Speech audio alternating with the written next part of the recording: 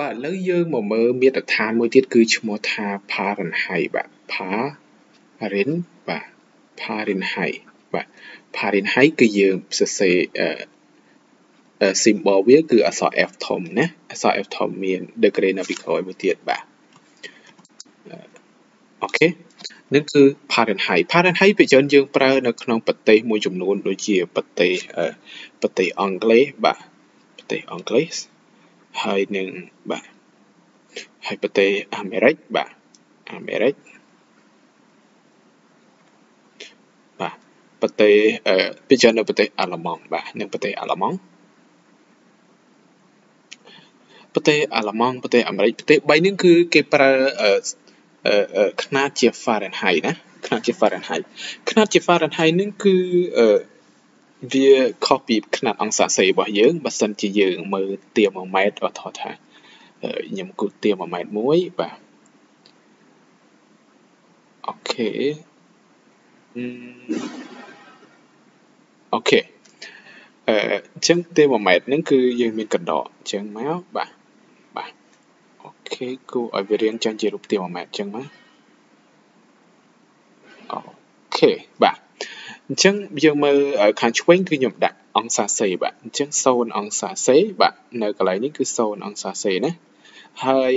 ឡើងមកដល់100ក្រាត់គឺ100អង្សាបាទ100អង្សាសេបាទ100អង្សាសេប៉ុន្តែចំពោះ Fahrenheit វិញបាទ100អង្សាសេនេះបាទគឺមានរហូតដល់200បាទ210 212 Fahrenheit បាទ212 Fahrenheit ហើយ0អង្សាសេនេះដែលយើងវាស់ឃើញ0អង្សាសេនេះគឺវាស្មើ32 Fahrenheit បាទស្មើ32 Fahrenheit អញ្ចឹងយើងគិតថាក្នុង100ប្រឡោះហ្នឹងបាទអឺនៅក្នុង Fahrenheit គឺមានប្រមាណប្រឡោះគឺយើងអាចយក212នេះបាទដល់ឲ្យ32ទៅបាទដល់32ទៅយើងឃើញថាមាន180ប្របាទប្រឡោះក្រិតបាទ ប្រឡោះក្រិត180ប្រឡោះក្រិតបាទ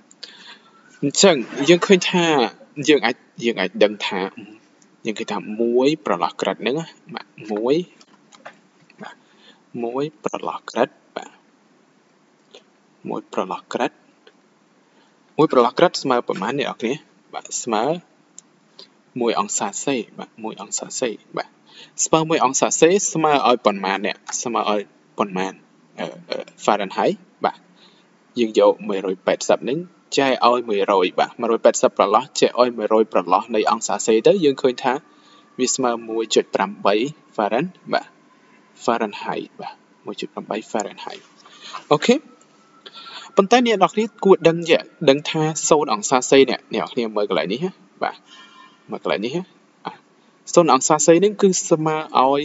32បាទស្មើឲ្យ32បាទស្មើ32 Fahrenheit បាទអញ្ចឹងមានន័យថាម៉េច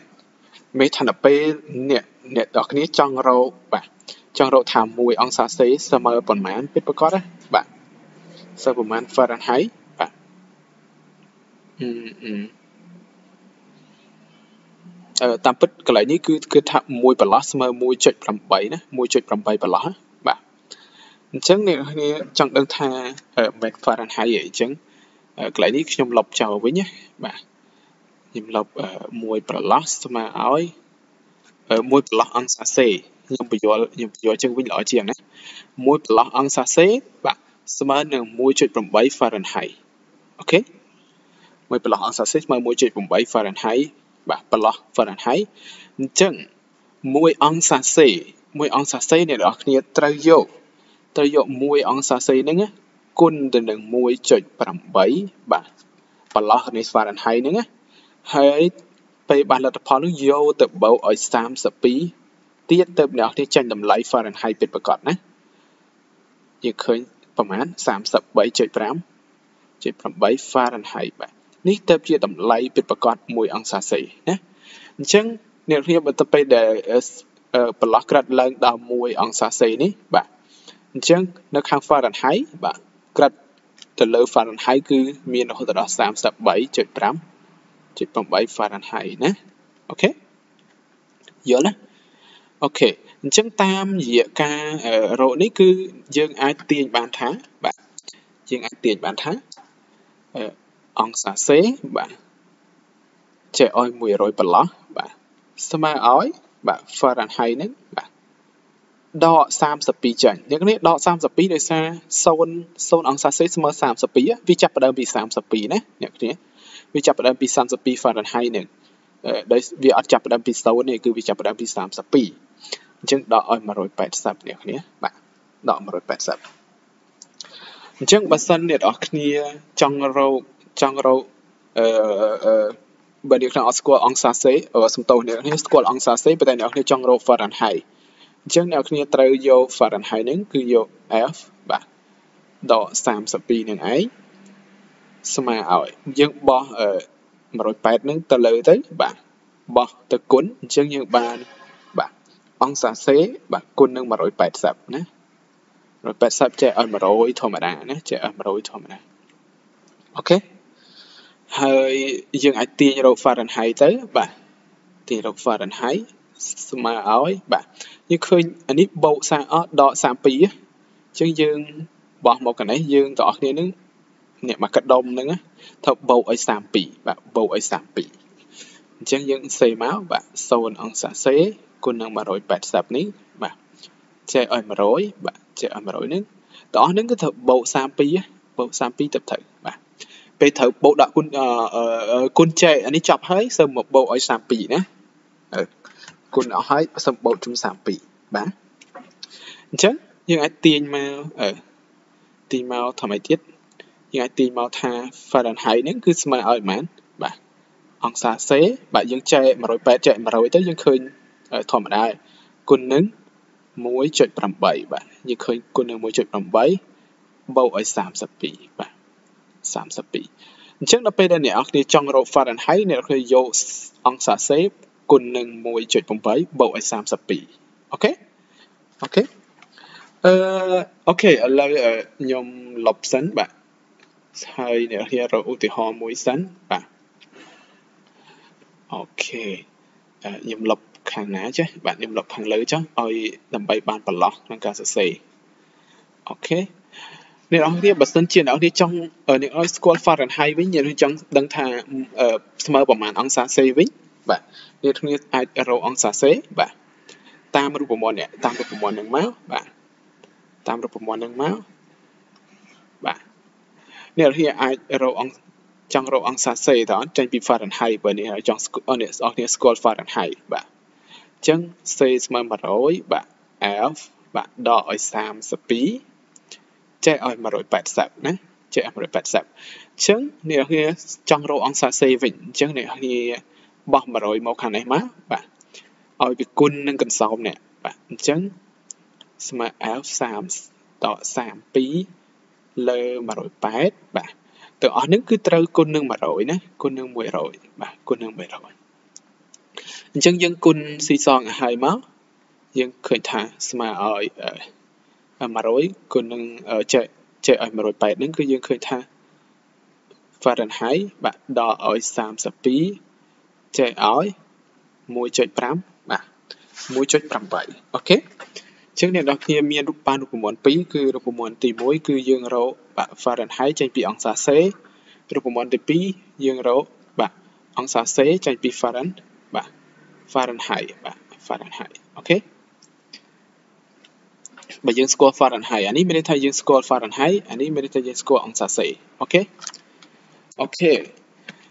ឥឡូវយើងបានរូបមន្តហើយយើងសាកល្បងធ្វើលំហាត់មែនបាទខ្ញុំអត់លុបរូបមន្តទេបាទខ្ញុំទុករូបមន្តនឹងដដែលបាទហើយអឺយើងមានយើងសាកយើងសាកល្បងអនុវត្តបាទ Fahrenheit បាទឥឡូវយើងមើលឧទាហរណ៍បាទឧទាហរណ៍ទី1ឧទាហរណ៍ទី1ឧទាហរណ៍ថាយើងមានឧទាហរណ៍ថាយើងមានស្ថិតនភាពប្រហែលបាទស្ថិតនភាព បាទអ្នកគ្នាយើងមានស្ថិតនភាព15អង្សាសេណា15អង្សាសេអញ្ចឹងអ្នកគ្នារក Fahrenheit ទៅប្រមាណ Fahrenheit បាទអញ្ចឹងនាំឲ្យយើងបានបាទ Fahrenheit ស្មើឲ្យបាទអក្សរយើងតាំងអក្សរ F ធំអញ្ចឹងណាបាទស្មើឲ្យយើងគ្នាយក15នេះ15ជួសចូលកន្លែងនេះមកបាទប្រើរូបមន្តនេះណាអ្នកគ្នាប្រើរូបមន្តនេះស្មើឲ្យ15បាទគុណនឹង1.5 1.8ទាំងអស់នេះគឺយើងបូកនឹងប្រមាណអ្នកគ្នាបូកនឹង30 32ហើយបូកទៅឃើញប៉ុន្មានបាទ59 Fahrenheit បាទ Fahrenheit អូខេឧទាហរណ៍ទី1បាទឧទាហរណ៍ទី2បាទឧទាហរណ៍ទី2អ្នកនរគ្នាចង់អ្នកនរគ្នាមានអីគេអ្នកនរគ្នាសិទ្ធមានសីតុណ្ហភាពសីតុណ្ហភាពអឺប្រហែល50 Fahrenheit វិញ បាទបើអ្នកនរគ្នាមានសីតុណ្ហភាព50 Fahrenheit វិញតើអ្នកនរគ្នាត្រូវនឹងប្រមាណអង្សាសេបាទតើនឹងប្រមាណអង្សាសេយើងសេសេថេសេសតេអញ្ចឹងណាបាទគឺយើងនេះយើងប្រើរូបមន្តនេះយើងស្គាល់ Fahrenheit បាទយើងស្គាល់ Fahrenheit យើងចង់រកអង្សាសេណា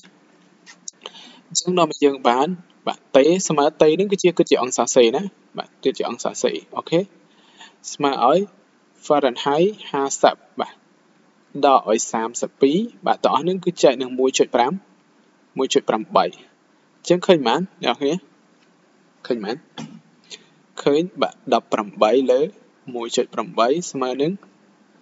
10អង្សាបាទ10អង្សាសេអូខេអញ្ចឹងចម្លើយដែលយើងរកឃើញនេះគឺ10អង្សាសេណា10អង្សាសេហើយនឹង59 Fahrenheit បើសិនជាសីតុណ្ហភាព15អង្សាសេអូខេអញ្ចឹងមេរៀននេះគឺតែប៉ុណ្្នឹងចុះបាទ